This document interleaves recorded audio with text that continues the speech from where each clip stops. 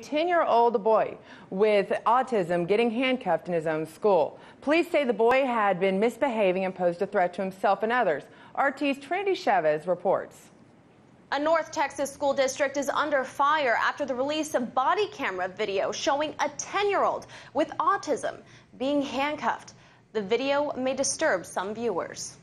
The newly released video shows a three hour incident that happened back in April at Alexander Elementary School with a resource officer and a 10 year old student.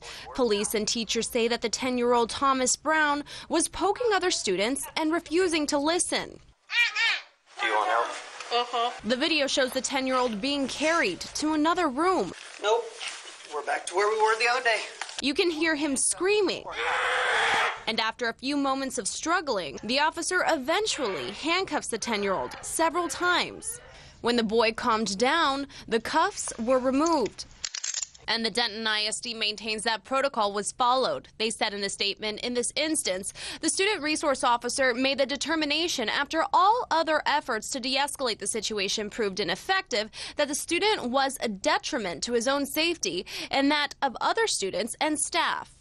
However, the parents of the 10 year old told WFAA that the fact that their son was handcuffed was breaking a rule, as they have a detailed intervention plan in place with the school, which does not permit the use of restraints. Now, the Denton Police Department said they did conduct an investigation and said it found no policy violations. Meanwhile, the boy's parents say they are considering taking legal action against both the school district and the police department. Reporting in New York, Trinity Chavez, RT. Hey YouTube, thanks for checking out our channel. We hope you enjoyed the video. We have tons of content for you just like this. For more of RT America's one-of-a-kind news and analysis, be sure to subscribe and never stop questioning more.